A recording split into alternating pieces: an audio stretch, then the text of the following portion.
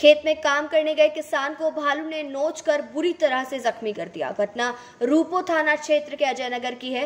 घायल किसान की पहचान विजय कुमार के रूप में हुई है। परिजनों ने बताया कि आज सुबह सुबह अपना खेत देखने के लिए वह गए थे।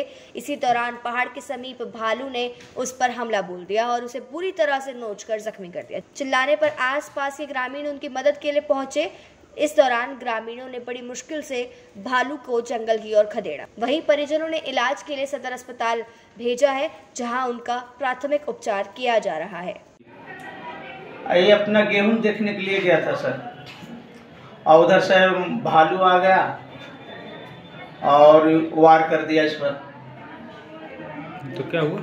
फिर बुरी तरह से जख्मी घायल किया इसका फिर चाँद के खाटी से लाया गया इसको वहाँ से खेत से उठा करके। कौन सा कौन सा गाँव का है? अजय नगर गाँव का सर। कौन सा थाना? थाना रुपा हुआ आपका रो क्या नाम? प्रखंड। आपका क्या नाम हुआ? हमारा नाम हुआ बसंत राजवंशी। आपके ये कौन हो ये हमारा भाई हुआ। क्या नाम है इनका? विजय राजवंशी।